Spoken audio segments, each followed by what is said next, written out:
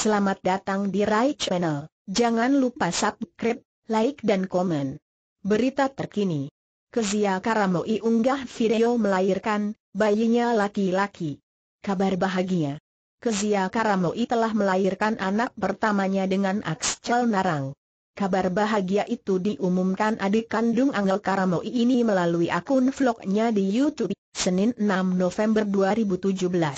Dalam postingan video, Kezia memperlihatkan wajah tampan bayi laki-lakinya yang baru saja lahir ke dunia. Hello world, me baby's born. Love at first sight milik leboi Kezia Karamoi vlog, tulisnya dalam postingan video. Kezia dan Axel memberi nama bayi laki-lakinya Alfredo Alfata Narang.